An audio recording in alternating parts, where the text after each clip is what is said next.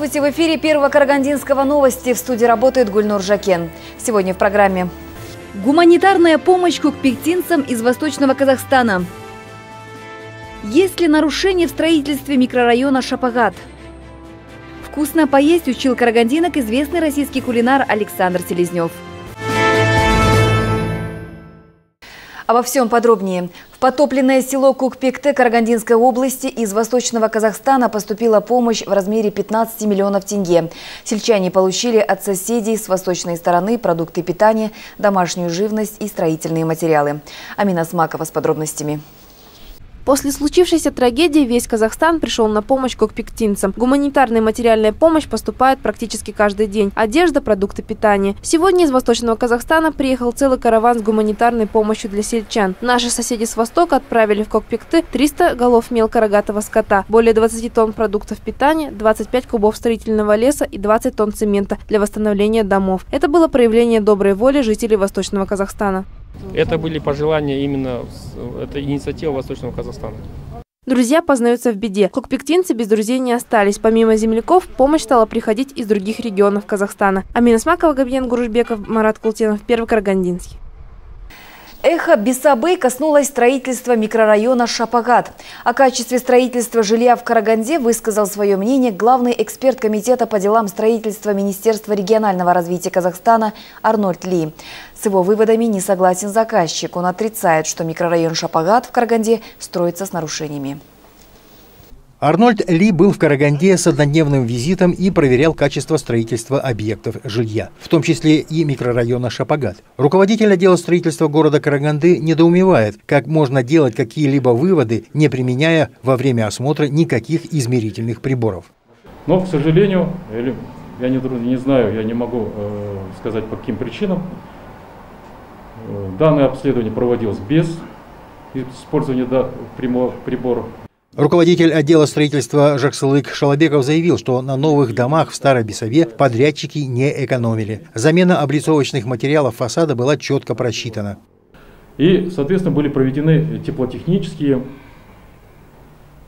и другие расчеты, которые позволяли бы нам перейти на этот элемент ограждающей конструкции без ущемления качества строительства, Руководитель отдела строительства Караганды Жаксылык Шалабеков заявил, что дома в новом микрорайоне Шапагат возводятся без каких-либо нарушений. Ни одну из претензий, предъявленных ГАСКом и Комитетом по делам строительства, он не признал. Заказчик уверяет, что проверку государственные ревизоры проводили на глазок. Жаксылык Шалабеков прокомментировал официальное заявление Министерства регионального развития о некачественном строительстве домов в бывшем микрорайоне Бесаба, а ныне Шапагат. Первое касается непосредственно чиновников. Вопреки законодательству законодательству местные власти якобы заселили людей в пятую блок-секцию, когда она еще не была достроена. Люди, получившие квартиры, не удовлетворенные тем э, уровнем, э, а вы понимаете, что э, бюджет не может себе позволить э, евроремонт такой, так, так называемый, и люди начинают демонтировать все то, что уже было установлено. Они начинают приобретать более дорогие двери, более дорогой кафель, соответственно. Все это они, старое то, что смонтировано на нее, это все демонтируют и начинают проводить свой ремонт. Это, по мнению руководителя отдела строительства, политическое решение, чтобы снять напряжение, которое существует даже сегодня вокруг Бесовы. Синдром этот существует даже спустя три года. Он присутствует не только в Караганде, но и в Казахстане, да, и может быть еще где-то в каких-то регионах. Э, печальный наш пример, не очень хороший. Но что было, как говорится, то было. И э, этот синдром Астаны, а, Бесабы сегодня, конечно, э, заставляет многих быть более таким придирчивым, где-то, может быть, объективно, где-то э, не объективно.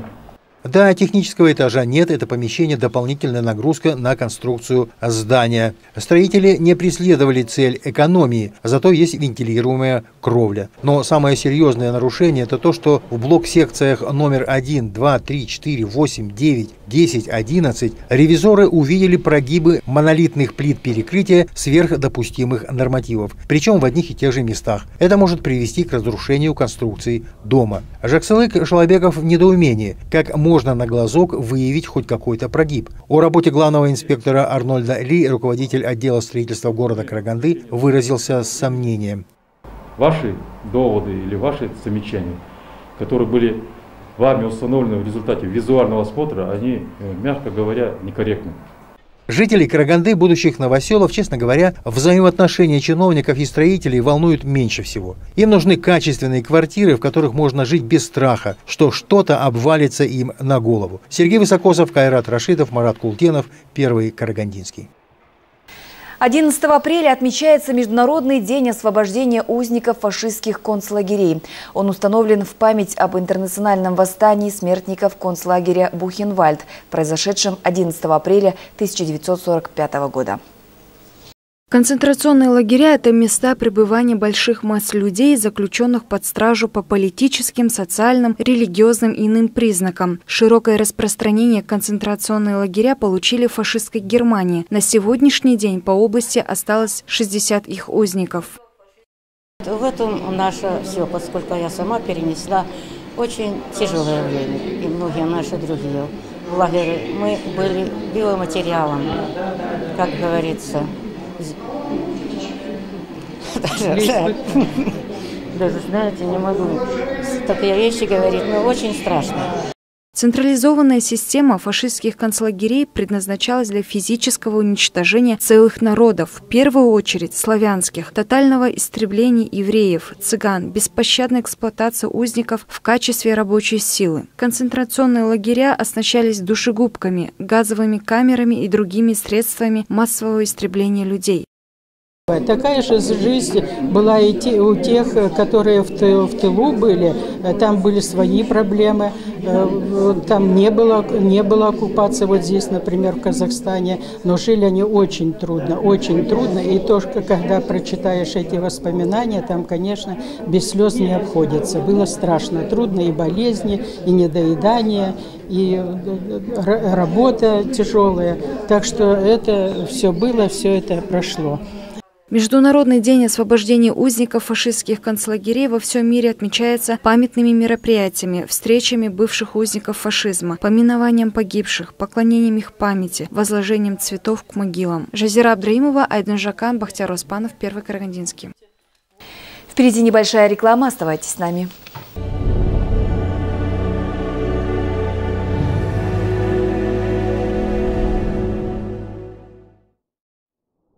Спонсор показа Galaxy Group, производитель продукции торговых марок Алюгал, Галвин, Херкюль. Торговая марка Galvin представляет Эконом-серия профиль Galtec 53 серии Эконом-система трехкамерных профилей монтажной шириной 53 мм представляет собой качественное и экономичное решение. Если вам нужны внутренние перегородки в магазин, офис, балкон или лоджию – это ваш профиль. Стандартная система «Профиль Галвин». Профиль Галвин 60 серии. Это система четырехкамерных профилей с монтажной шириной 60 мм. Идеально подходит для любого климата и региона. Система стандарт относится к классу А, а значит полностью соответствует современным требованиям качеству оконных и дверных профилей. А теперь новинка. Серия «Эксклюзив». Пятикамерный профиль Galvin 70 серии. Монтажная ширина 70 мм. 5 камер и наличие дополнительного паза для резинового уплотнителя значительно повышают тепло- и звукоизоляцию. Толщина лицевых стенок 3 мм. Помимо белого цвета профиль Galvin выпускается в шести цветах. Золотой дуб, махагон, мореный дуб, темно-коричневый, орех и серый. Но и это еще не все. Имеются профили односторонние, внутренней и наружной ламинации всей цветовой линейки. Все профили торговой марки Galvin и Galtec не содержат свинца и на 100% соответствуют санитарно-эпидемическим нормам. Профиль Galvin – морозостойкий, надежный, прочный.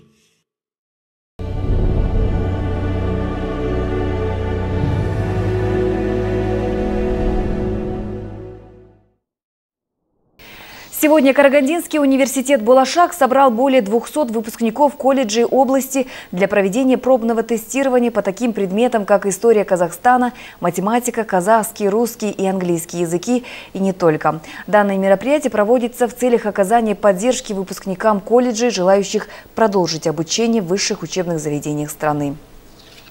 Карагандинский университет «Булашак» на рынке образовательных услуг уже 16 лет. За это время учебное заведение выпустило немало высококвалифицированных специалистов. Выпускники «Булашака» на сегодняшний день востребованы на государственной службе. Также плодотворно трудятся в крупнейших компаниях страны. Университет осуществляет поэтапный переход к международным стандартам качества образования. Два года, как ввели комплексное тестирование абитуриентов после окончания колледжа при поступлении в ВУЗ – Э, по области, по нашим данным, более 70% не могут набрать э, соответствующий балл. И в связи с этим они не могут, естественно, поступить и получить высшее образование. В этом отношении университет Булашак решил э, помочь детям. Данное мероприятие дает не только, вот, например, помощи, а плюс еще ознакомиться со школьной программой, которую они забыли, пройдя где-то 3-4 года назад, которые прошли. И, естественно, они будут иметь представление э, о вопросах, о программе и о темах конкретных по каждому предмету, который входит в комплексное тестирование абитуриентов. Хочется отметить, что в рамках реализации государственной программы развития образования в Республике Казахстан на 2011-2020 годы в университете ведется целенаправленная работа по обеспечению профессиональной подготовки компетентных и конкурентоспособных специалистов. Тестирование, которое проходит сегодня, дает выпускникам возможность хоть и примерно, но узнать, на какие вопросы они будут отвечать при поступлении в высшее учебное заведение. Выпускница Тимиртауского многопрофильного колледжа «Мирас» Анастасия Кахненко говорит, что в будущем хотела бы поступить в университет «Булашак». Какие у нас будут тесты, какие у нас будут вопросы? Конечно же, примерно, но мы хотя бы будем уже иметь уже представление об этом. И, естественно, также это очень важно для нас, для студентов. Мы уже сейчас будем начать, будем начинать готовиться к этому. То есть мы сейчас не будем терять время зря. Мы уже понимаем, что это осознанно, что у нас осталось всего три месяца, Поэтому мы сейчас будем, конечно же, знакомиться с тестами, приезжать сюда, чтобы работать, работать, работать. В последнее время в Казахстане уделяется огромное внимание качественному образованию молодежи, ведь именно от нее зависит будущее нашего суверенного государства. Гульнур Жакен, Олжас Гапасов, Марат Культенов, Первый Карагандинский. В спорткомплексе «Жастер» собрались все управления специализированной службы охраны республики и провели ежегодный турнир по волейболу. Наши карагандинцы одержали победу и заняли первое место. Турнир, который длился два дня, прошел удачно для карагандинских полицейских. Более ста участников боролись за призовые места. Заместитель Акима области Галым Ашимов вручил подарки Кубки победителям. Специализированная служба охраны Караганды заняла первое место. Второе место досталось поводарцам. Третье место заняла команда из Алматы. Да, действительно, были сильные соперники, но мы одержали победу. Это в первую очередь хорошо для здорового образа жизни. И хорошо, что проводятся такие соревнования. Видишь своих коллег. Следующая спортивная встреча будет по рукопашному бою. Надеемся, что сборная команда Караганды и на этом турнире выиграет золото. Жазира Абдраимова, Габидян Крушбек, Бахтяр Успанов, Первый Карагандинский.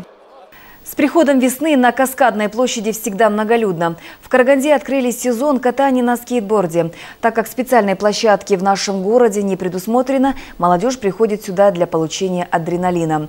За необыкновенными трюками наблюдал наш корреспондент.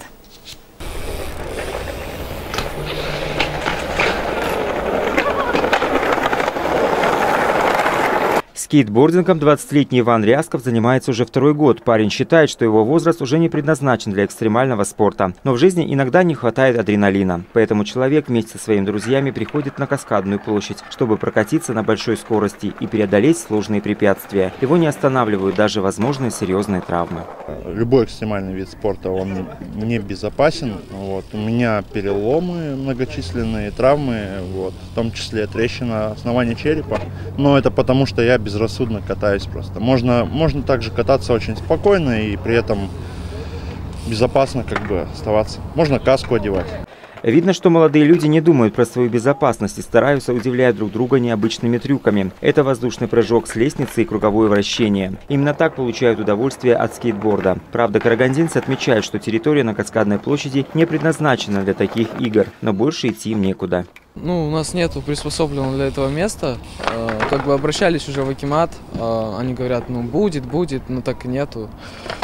Э, ну и приходится тут кататься, тут есть ступеньки, вылеты всякие. Ну, отсюда тоже гоняют иногда. Мол, не ломайте. В Караганде нет специальной площадки для скейтборда, поэтому молодым спортсменам приходится заниматься на Каскадной площади около областного акимата. Мало кто знает, что скейтбордисты Караганды сегодня снимают фильмы, которые показывают в кинотеатрах города. Все сборы уходят на благотворительность для детей, больных раком крови. Молодые жители шахтерской столицы Казахстана отмечают, что территория для скейтборда в нашем городе просто необходима. А в других странах такие площадки есть и даже часто проводят соревнования. Крытые скейт-парки обязательно должны быть, потому что молодежь, они теряют э, навыки за зиму. Пока зима, они не могут кататься, не могут тренироваться, они регрессируют. Вот, поэтому у нас соревнования не проходят, а в ближайшем зарубежье я ездил на соревнования в Белоруссию, в Россию, вот, там выступал, как бы по скорости, опять же, на лонгборде. Там проходят. У нас пока что нет и некому за это взяться, потому что нет профессиональных скейт-парков. С приходом весны желающих погонять на скейтбордах в нашем городе становится все больше. Однако современная молодежь не думает о последствиях и о том, что этот вид спорта опасен для жизни. Но что может быть лучше свободы и большой скорости? Николай Кровец, Карат Рашитов, Бактяр Успанов, Первый Карагандинский. Научить беречь природу нельзя только словами. Для этого нужны конкретные дела. В Карагандинском зоопарке организовали традиционную выставку к Международному дню птиц. Дети уже представили около одной тысячи работ, и до подведения итогов осталось совсем немного времени. Подробности далее.